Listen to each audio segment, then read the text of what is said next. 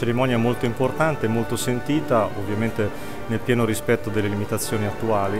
un momento che ci permette di riflettere su ciò che le forze armate sono sempre state per il Paese, ciò che siamo oggi e a maggior ragione ciò che dobbiamo essere in questo momento di difficoltà a vantaggio di tutto il Paese. Abbiamo ritenuto opportuno svolgere questa eh, sobria cerimonia eh, presso il 41 Reggimento Cordenons di Sora. Abbiamo adottato quindi tutte quelle misure necessarie per poter eh, assicurare lo svolgimento dell'evento importante e profondamente sentito nel rispetto di quelle che sono le limitazioni e le norme che impone la situazione emergenziale del momento. In questa importante giornata in cui onoriamo le forze armate, protagoniste nella prima guerra mondiale del compimento del disegno risorgimentale,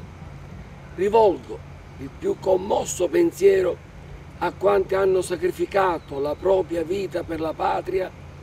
lungo il tormentato percorso che ha permesso l'edificazione nella Repubblica di uno Stato finalmente unito e libero. I sacrifici compiuti sono stimolo ad adempiere ai nostri doveri di cittadini, a maggior ragione nei momenti difficili come quello attuale,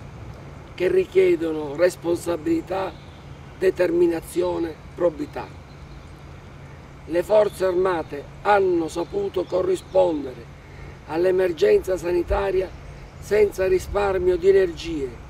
con il proprio personale altamente specializzato, medici, infermieri, mezzi e strutture mediche,